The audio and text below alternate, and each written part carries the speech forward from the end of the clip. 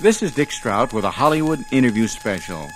This year it's Star Wars. Last year, the spectacular science fiction film was Logan's Run, starring Michael York.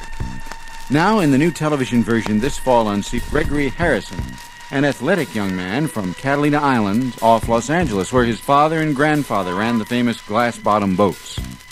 On an outdoor set, correspondent Fred Robbins talked with Greg Harrison about the new series and the huge interest now in science fiction. Why this tremendous interest now in the futuristic stuff, science fiction and so forth? Star Wars, Logan's Run, Superman coming out, all these things. Well, you know, it's funny. Uh, when you when you look back in history, you find patterns after after wars. For instance, people they've had their fill of, of the present day reality, and I think they they're looking for for stories that will will take their minds off today's problems and and give them a, a feeling that we're going to survive and we're going to be okay in our future. And I, I think this fills that. Star Wars fills that. Uh, things that talk about survival and senses of humor and all those uh, positive feelings are very much needed right now. This character of Logan, can you describe him, Greg?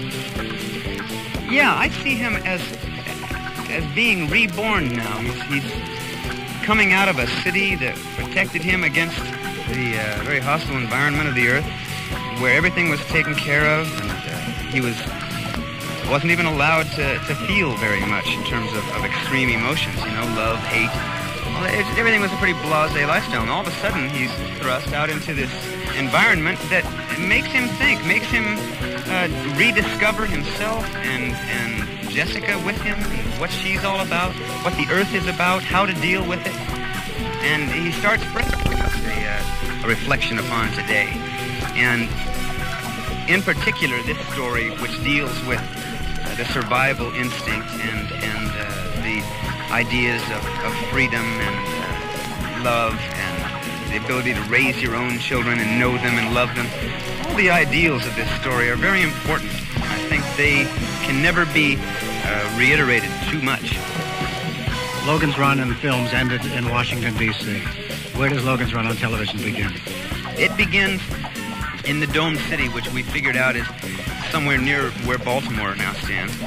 And uh, we'll continue on in a path leading across uh, the United States, and very possibly, if the show goes, uh, a year or more, uh, across to new continents, and, and uh, just rediscovering the entire Earth. Hoping to rebuild the world after the Hoping Holocaust? to rebuild it, to find little pockets of civilization different, that, that function under a different process than perhaps the ones that we know today. Some succeed, some fail, some are good, some are evil. Actually, our, our final goal is to find a place called Sanctuary, a sort of legendary, mythological uh, uh, Shangri-La. a Shangri-La that uh, that would offer us all the things that we didn't find in our dome city. Gregory Harrison, who plays the title role in Logan's Run, now a television series this fall, Fridays, on CBS. America in the 24th century, or what's left of America, is the setting of Logan's Run, a recent spectacular motion picture, now a television series this fall on CBS. Escapees from a domed city where no one is permitted to live beyond 30, Jessica and Logan, accompanied by an android robot, search for a legendary utopia called Sanctuary. Playing Jessica is Heather Menzies, whom audiences first saw in the film The Sound of Music as one of the children. On a location, Fred Robbins talked with Heather Menzies about the original film version of Logan's Run. As I remember, the characters in the film probably were not as dimensional as they will be on TV. Well, in the film, I think the thing that they did was they they spent a lot of time with the uh, the special effects and and not as much with the human interest. And you didn't really get to know Logan and Jessica, which I think is is where a lot of science fiction fails when it fails. Take for instance, Star Wars is an incredible hit because the effects are so unbelievable. But then again, it's still not a human interest. But it doesn't need to be, you know, because they've got that, that one thing that they do so well. In this show, we do have a lot of special effects, but we are going with the human interest. So you will get to know Logan and Jessica as, as people, and you will get to a point where you care about them. Isn't it amazing that there's such an explosion of science fiction, futuristic, imaginary films and television at this time? Talk I mean, about timing. fabulous. You planned it that way. Heather Menzies of Logan's Run.